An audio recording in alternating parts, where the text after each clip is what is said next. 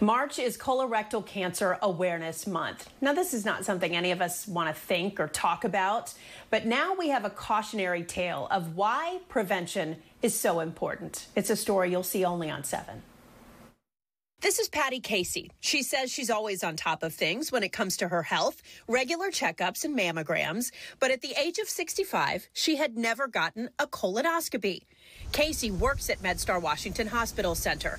And one day, making a delivery to the gastroenterology department, staff member Sherelle Freeman Davis asked her about that colonoscopy. And I was like, "Ooh," uh, and she caught me. She said, "You're not leaving here without signing up." So I did.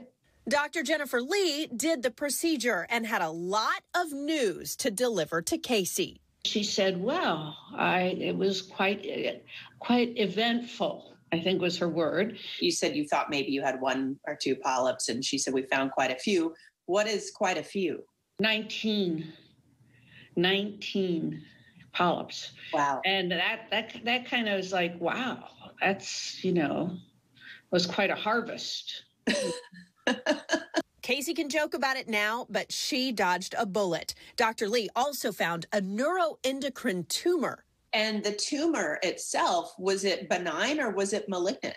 It was malignant, they found out after they tested it. That illustrates why it's so important to get your colonoscopy. Dr. Lee, gastroenterologist at MedStar, says colon cancer can arise from small growths called polyps these polyps often don't have symptoms and and that's why you hear by the time there are symptoms it's often advanced and so it's important to catch it while it's still a polyp Dr. Lee says everyone should get a colonoscopy by age 50, African Americans by age 45. Your doctor will also take into account family history and if you have any symptoms. My encouragement for everyone is if you don't want to commit to the colonoscopy just yet, that's okay, as long as you have the conversation with your doctor. Now, Patty Casey feels like she has a new lease on life. She recently married her partner of 30 years, and she's already had a follow up colonoscopy. Think of it like uh, getting your tires rotated or your oil changed. You had no symptoms. So without this test,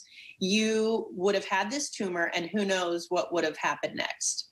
That's right. It could have been a ticking time bomb inside me. And she has a new friend for life in Sherelle Freeman Davis. Have you thanked her, by the way? Oh, yes. Yes, indeed.